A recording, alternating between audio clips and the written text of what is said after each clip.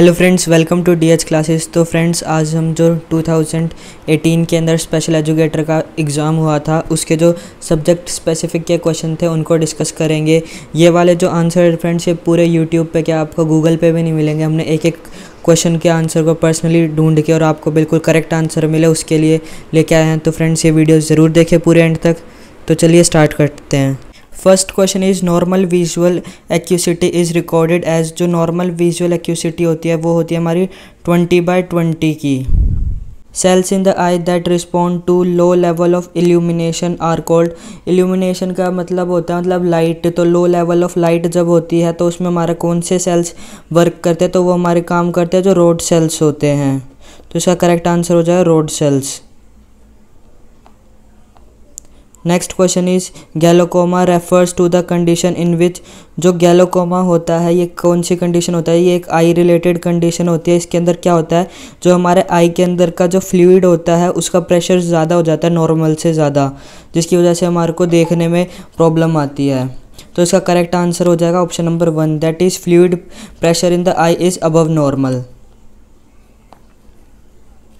next question is the person who first distinguished CP as a distinct medical condition पहला व्यक्ति जिसने CP को एक अलग कैटेगरी में रखा था कि ये नॉर्मल कंडीशन नहीं है इसके लिए अलग मेडिकल कंडीशन बनाई जाए तो वो थे doctor William John Little next is the word C P was coined and popularised by तो जो सी पी टर्म थी, ये किसने कॉइंड करी थी, किसने इस सी पी नाम दिया था तो वो थे sir William Osler. Next question is cerebral refer to जो सेरिबल होता है, वो किस चीज़ से रेफर करता है? तो ये होता है वीकनेस और अ प्रॉब्लम नहीं। Something on a part of brain तो इसका जो करेक्ट आंसर हो जाएगा, जो सेरिबल होता है मतलब कि ये ब्रेन से रिलेटेड होता है। या तो आप इसको ये लिखा सकते हैं कि something on the part of brain या कई बार ये भी लिखा सकता है कि रिलेटेड टू द ब्रेन तो सेरिबल हमारा ब्रेन का एक पार्ट है, जैसे हमें पता है तो इसमें ब्रेन से रिलेटेड ही होगा। ऑटिज़म इज़ करेक्टराइज बाय जो ऑटिज़म होता है, उसके क्या होता है? अनयूजुअल बिहेवियर पैटर्न तो जो ऑटिस्टिक बच्चे होते हैं, उनका जो बिहेवियर पैटर्न उनका अनयूजुअल होता है। इम्पेयर्ड कम्युनिकेशन स्किल जो उनकी कम्युनिकेशन स्किल्स होती है, उसमें भी बच्चों को प्रॉब्लम आती है और साथ में उनका पुअर इंट्रैक्शन या पुअर सोशल स्किल्स भी होते हैं। तो इसका करेक्ट आंसर हो जाएगा that is option number D that is all of above next is echolalia is defined as जो इकोहलिया होता है, जिसके अंदर बच्चा गुनगुनाता रहता है कुछ भी तो इसका क्या मतलब होता है, कैसे डिफाइंड करोगे उसमें? Singing consistent consistently instead of using word to speak मतलब वो गा के वर्ड के बजाय गाना पसंद करता है। यूजिंग नो वर्ड्स और साउंड किसी भी वर्ड या साउंड का इस्तेमाल नहीं करना। स्पीकिंग इन अ मोनोटोन एक मोनोटोन में बात करना। या रिपीटिंग वर्ड्स और phrases that have been said by others तो इसका जो करेक्ट आंसर हो जाएगा वो है option number two that is जो वर्ड्स और फ्रेजेस जो भी कोई और व्यक्ति बोलता है, उनको वो रिपीट करता है जो इकोलिया बच्चे होते हैं।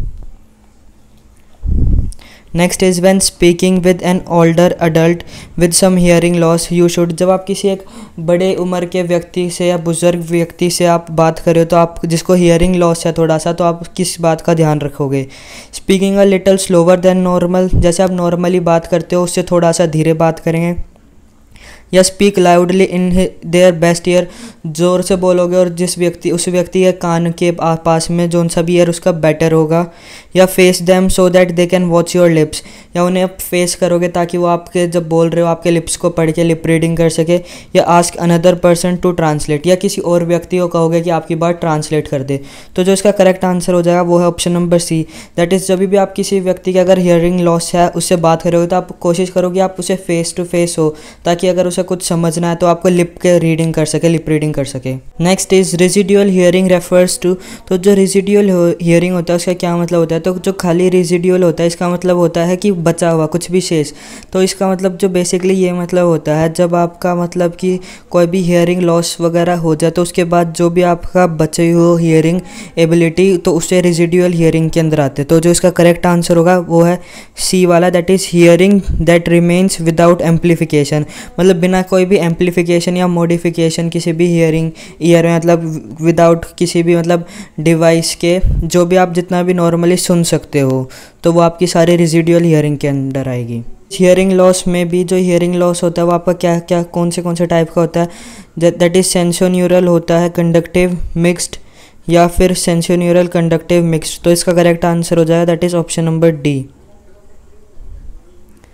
next question is the first deaf blind student who received a college degree पहला डेफ ब्लाइंड व्यक्ति जिसने कि कॉलेज में एक डिग्री ली थी तो वो थी Helen Keller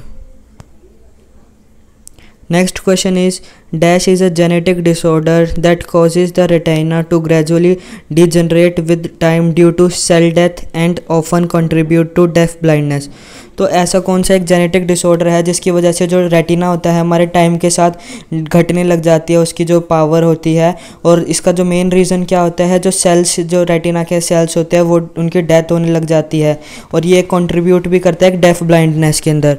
तो जो इसका करेक्ट आंसर है that is option number one retinitis pigmentosa next is deaf blind is a जो डेफ ब्लाइंड है वो कौन से तरीके का डिसऑर्डर है? Neurological disorder multi sensory disorder muscular disorder या नन ऑफ़ दीज तो इसका करेक्ट आंसर है that is multi sensory disorder multi sensory किस वजह से? क्योंकि डेफ ब्लाइंड में हमारी आई भी अफेक्टेड होती है और साथ साथ हमारी हियरिंग भी अफेक्टेड होती है। Next is which of the following criteria can be use to define intellectual disability आप इंटेक्चुअल डिसेबिलिटी के लिए इनमें से कौन से कौन से जो कैरेक्टरिस्टिक या क्राइटेरिया को देखेंगे? Significantly below average intellectual functioning actual ability होती है, वो नॉर्मल से कम होती है। Impairment in adaptive functioning generally जो भी किसी भी चीज़ को अडेप्ट करना है, नए एनवायरनमेंट में अपने आप को अडेप्ट करना तो उसके अंदर इन्हें थोड़ी सी प्रॉब्लम होती है। This defect should be manifest before the age of 18 years तो जो ये है, ये 18 ईयर्स से पहले पहले देखने को मिल जाते हैं आपको। तो ये भी बात ठीक है। तो जो इसका करेक्ट आंसर है, वो होगा all of these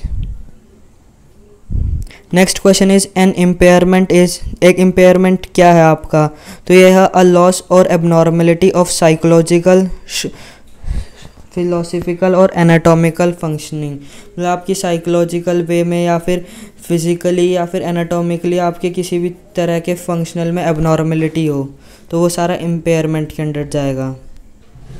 Next is custodial comes under which classification of intellectual disability जो कस्टोडियल बच्चे होते हैं, वो कौन से तरीके से जब आप एमआर को या आईडी को डिफ़ाइन करते हो तो उसके अंदर आएँगे तो वो होते हैं एजुकेशनली वे पे। आप जब एमआर को या आईडी को डिवाइड करोगे तो कस्टोडियल इसके अंदर आता है। तो जो कस्टोडियल बच्चे होते हैं, उनका आई क्यू होता है? ज़ीरो से ट्वेंटी फाइव के या ट्वेंटी के बीच में, कह सकते हो। Next is U D L stand for जो यू डी एल होता है, उसकी फुल फॉर्म क्या होती है? तो वो होता है universal design for learning next question is who formulated the U D L educational framework जो यू डी एल का एजुकेशनल फ्रेमवर्क है, वो किसने दिया था? तो वो दिया था रोनाल्ड एल मैक ने। Next question is strategic network are located in जो स्ट्रेटेजिक नेटवर्क होते हैं, वो आपके ऑप्टिकल लोब के अंदर मिलते हैं। Next is which of the following educational system support scientific progress तो इनके अंदर से साइंटिफिक प्रोग्रेस किसके अंदर देखने को मिलती है हमें? आइडियलिस्टिक के अंदर रियलिस्टिक नेचुरलिस्टिक या नन ऑफ़ दिस तो जो रियलिस्टिक वाले होते हैं, उनके जो आइडियाज़ थे, उसके अंदर हमें साइंस का देखने को मिलता है और साइंटिफिक प्रोग्रेस को, क्योंकि वो सपोर्ट करते हैं कि जो नेचर है, वो सारा साइंस से रिलेटेड है। इसमें कोई भी गॉड वगैरह में ये बिलीव नहीं करते। Next is who said education is the criteria of a sound mind in a sound body तो ये दिया था एरिस्टोटल ने। Next is which one of the following is informal education इनके अंदर से इनफॉर्मल एजुकेशन का कौन सा एग्ज़ाम्पल है? गवर्नमेंट प्राइमरी स्कूल तो नहीं है फॉर्मल के अंदर आ जाएगा। Non government secondary school schools भी फॉर्मल में आ जाएँगे। यूनिवर्सिटीज़ यूनिवर्सिटीज़ भी फॉर्मल एजुकेशन के अंडर आएँगे।